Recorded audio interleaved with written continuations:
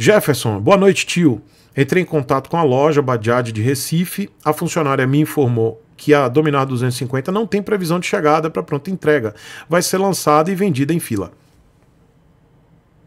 É mais ou menos isso que eu falei ontem, tá?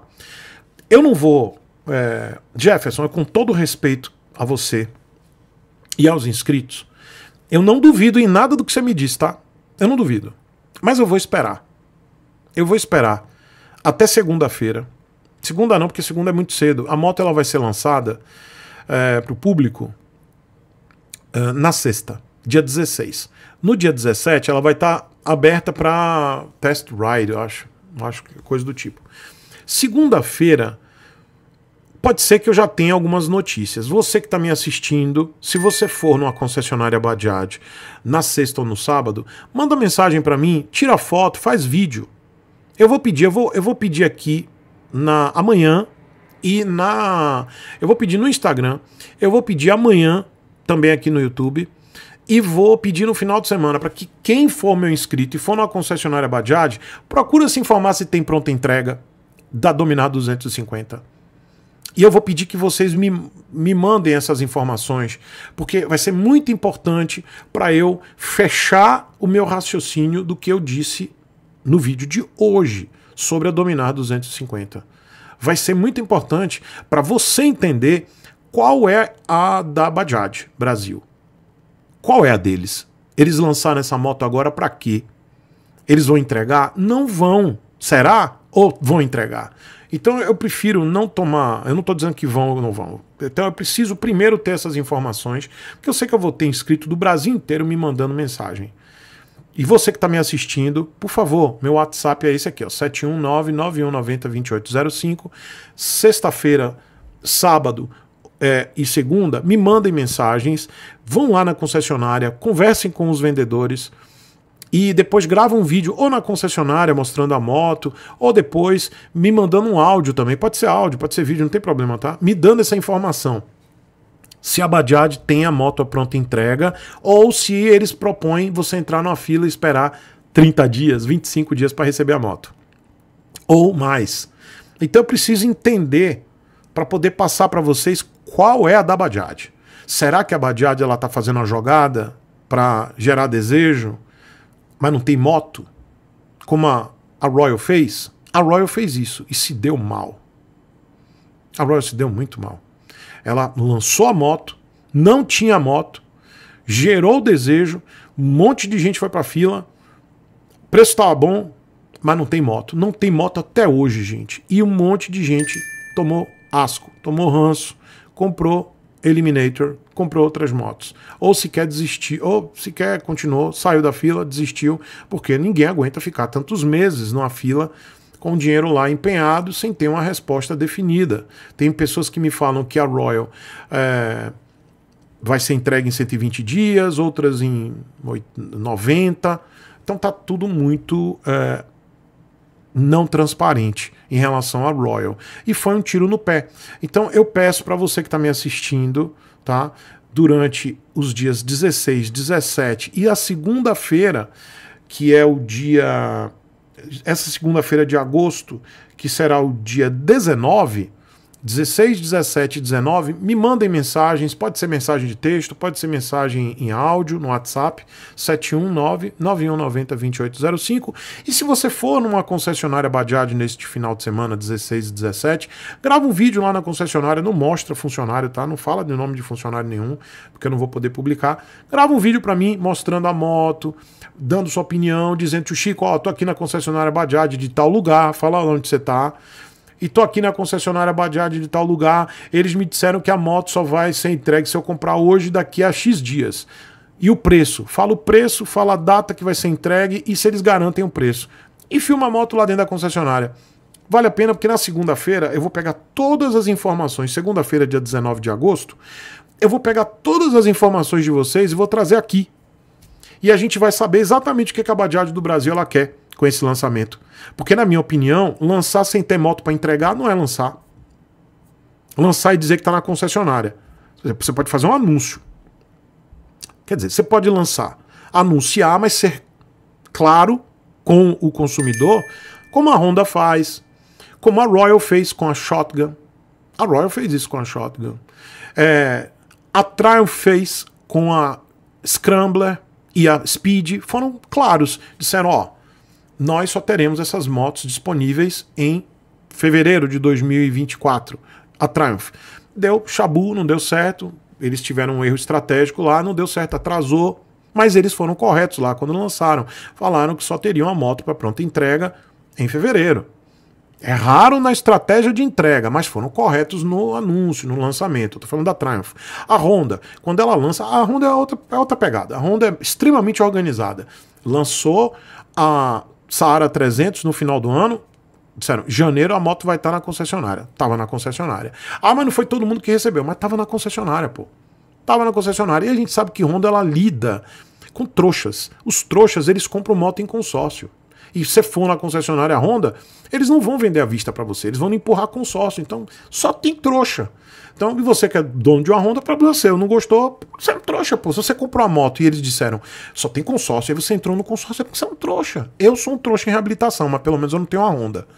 Então, é, Honda fez isso, beleza. A Royal fez agora no Festival Interlagos e também anunciou a Shotgun, mas não deu prazo. Não disse, ó, não temos prazo para entregar essa moto. Será lançada. Show de bola, tá tudo certo. Mas fez com a Super Meteor, deu um tiro no pé, se lascou.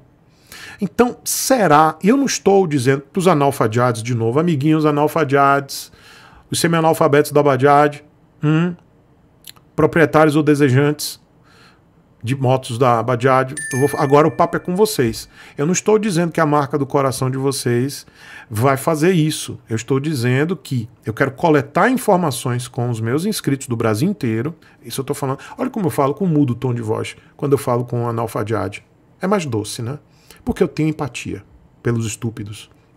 Então, analfadiades, eu estou pedindo para os meus inscritos do Brasil todo coletar informações, gravarem vídeos na concessionária, sem mostrar os funcionários, porque eu não posso mostrar funcionário para não, não, dar problema. Mostra a moto, fala o preço da moto, mostra quando é que a moto vai ser entregue ou se tem a pronta entrega. E se o preço, caso seja é, vendida a moto é, sem entregar na hora, se o preço vai ser garantido. Geralmente a Bajaj ela garante preço, isso é legal da Bajaj, né?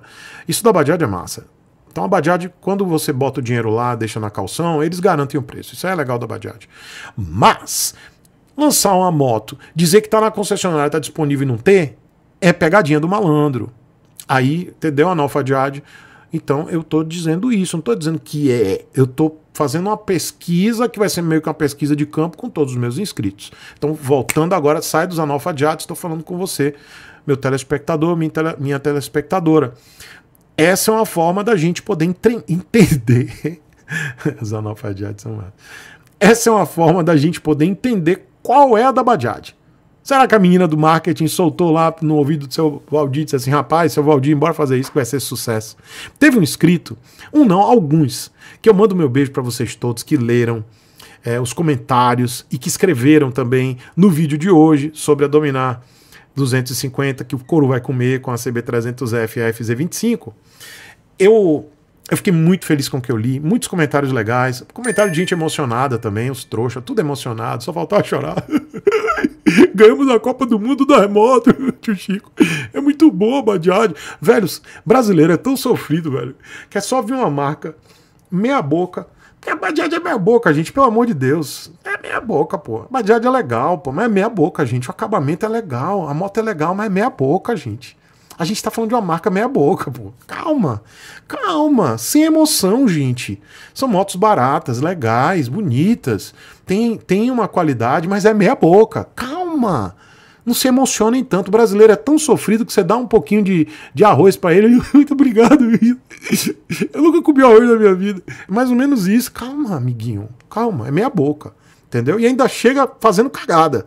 Então, calma. Não se emocione muito. Entendeu? E aí eu vi lá os comentários da galera empolgada, gente dizendo que era a melhor marca do mundo. tá tudo certo. Eu, eu dei o coraçãozinho, porque eu entendo que a galera é muito. Brasileiro é sofrido, velho. Eu entendo. Parece que a gente tá num pós-guerra, velho. O povo. Enfim. Então, eu vi alguns comentários legais, gente dizendo o seguinte: presta atenção, presta atenção. Gente fazendo várias teorias, né?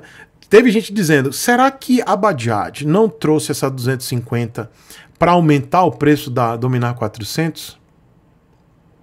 Eu, ó, faz, faz sentido. Pode não aumentar agora, mas vai, vai aumentar lá na frente. Por quê? Porque vai ficar muito perto, gente. Se essa moto 250 ela for, do, for 23 mil, a Dominar 400 é 2.500 a mais. O que, que impede de uma pessoa pagar 2.500 a mais e levar uma moto com 15 cavalos, a, 13 cavalos a mais? Ah, o que, que impede? Nada. Vocês entendem? Então faz muito sentido. Faz muito sentido. Teve gente falando que é, muito provavelmente é, isso especulando também, que é uma, uma estratégia mesmo, que a Bajaj não vai ter essas motos para pronta entrega e que as pessoas vão chegar lá e vão entrar na fila. Teve gente dizendo que eles iam fazer exatamente isso. E olha que legal. Não foi uma, não, foram várias pessoas. Eu fico muito feliz porque vocês são soda. Eu não estou falando dos analfadiad, não. Estou falando do meu público, né? Vocês são soda. Me orgulha, sabe? Vocês me orgulham. Por eu ter inscritos assim de alta qualificação. Só comentário show, tirando os emocionados e os analfadiados. Analfadiado não teve, não, mas teve emocionado pra caramba. Proprietário de Badiad. Minha Badiad nunca deu problema. Eu, eu tô muito satisfeito. Tá tudo certo, amiguinho. Eu, eu, eu dei coraçãozinho para você porque eu tô feliz por você. Mas teve um, alguns comentários dizendo o seguinte: a Badiad, provavelmente, ela anunciou. Olha que legal essa tese, essa teoria. A Bajaj provavelmente anunciou essa moto para aproveitar o gap, ou seja, o buraco deixado pela Yamaha com a FZ25 e o buraco deixado pela Honda com a CB300F. Eles não estão dando conta para entregar essas motos. A Yamaha está com a moto defasada, então foi essa a tese. A Yamaha, pela parte da Yamaha, pela FZ25, ela está muito defasada e pela parte da Honda que não está dando conta de entregar a CB300F para demanda.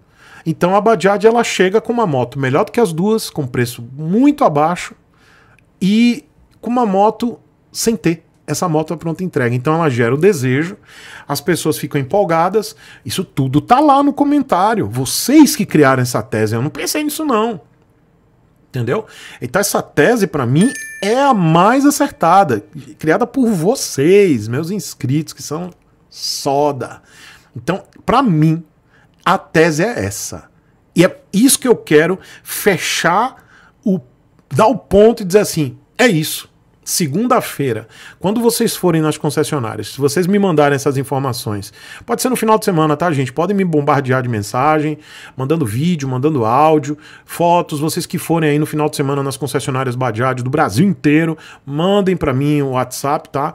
Para eu poder ter essas informações e na segunda-feira eu faço um vídeo já botando o ponto, dizendo assim: é isso, vocês estão certos.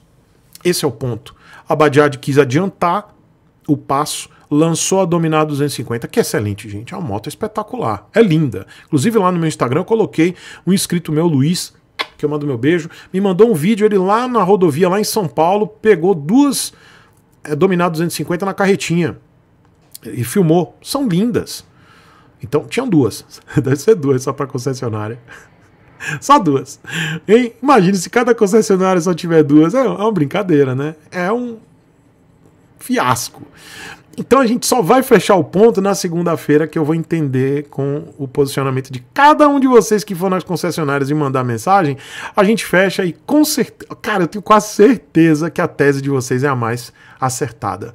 Que a Bajaj ela se adiantou, o pessoal do marketing esperto, seu Valdir com Y é raposa velha, barrigudinha e chegou, disse, não, bora adiantar, tem um buraco, um gap do baralho da Yamaha, com a sua FZ25 desatualizada para o baralho, e a Honda que só entrega para consorciado. Não vende à vista. Não, não vende para as pessoas. Então demora. Então vamos botar logo. Ao invés da gente esperar ano que vem, coloca logo. Mas seu Valdir com Y, nós só temos 100 unidades no Brasil. Dane-se. Coloca tudo. Bota tudo para vender, disparar aí na, nas concessionárias, aí bota povo tudo na fila. Se for isso, a gente vai saber no final de semana e na segunda-feira eu trago para vocês aqui as informações. Mas eu aposto, do real, que vocês estão certos. É ruim? É, é negativo? Não, é a estratégia deles. Eu não compraria. Eu não compraria. Eu não seria trouxa. Eu ia deixar lá. Deixa lá, quando tiver pronta entrega, fala assim com o vendedor. Ó, vendedor, quando tiver pronta entrega, você me fala, você me liga.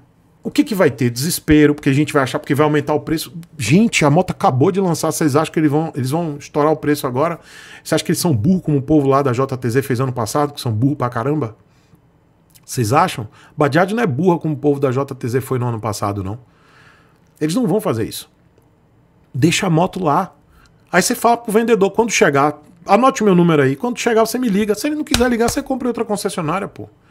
E se a outra concessionária não quiser te vender, você compra outra marca. Agora, ficar na fila, ser trouxa, sem saber quando vai receber e quanto vai pagar, não faça isso. Vamos esperar, tá? Não estou dizendo que isso vai acontecer, mas tudo leva a crer que é isso. Porque eu não acho isso legal. Eu, particularmente, tá? Eu. Não acho, não é errado. Eu não vejo. Ah, isso é é abominável da Bajaj. Não, isso faz parte do jogo. A Bajaj está jogando o jogo do Brasil. O jogo do Brasil é esse: pilantragem das montadoras, fazer anúncio de moto e não ter moto para entregar, pilantragem geral. Todas elas fazem isso. Entendeu? É o jogo do Brasil. Mas eu não caio nessa. E eu não indico. Eu vou dizer para vocês o quê? A moto é boa? É. Vale a pena? Muito. É melhor do que as outras? Já é só compre quando você tiver certeza de que vai estar na concessionária ou quando você vai receber. E se tiver que pagar alguma coisa, pague, mas sabendo quando vai receber por quanto vai pagar.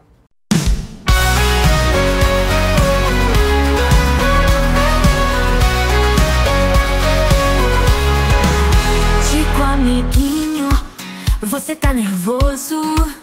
Preço das motos, um perigo grandioso. Pessimismo no ar deixa teu olhar. Mas calma, amiguinho, deixa eu te falar. Calma, amiguinho, calma, calma preço Os preços das notas vão ficar na mesma.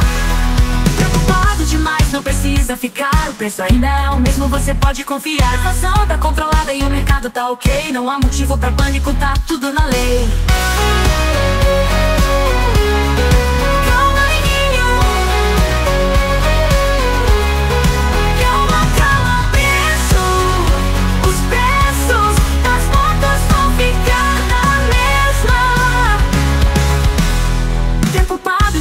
não precisa ficar, o preço ainda é o mesmo, você pode confiar. A inflação tá controlada e o mercado tá ok, não há motivo pra pânico, tá tudo na lei. Calma, calma, piso, os preços das motos vão ficar na mesma. O tempo vai mostrar que não tem por que temer. A calma sempre vence, deixei o medo correr. Amiguinho, confia, a vida vai brilhar. virtuoso.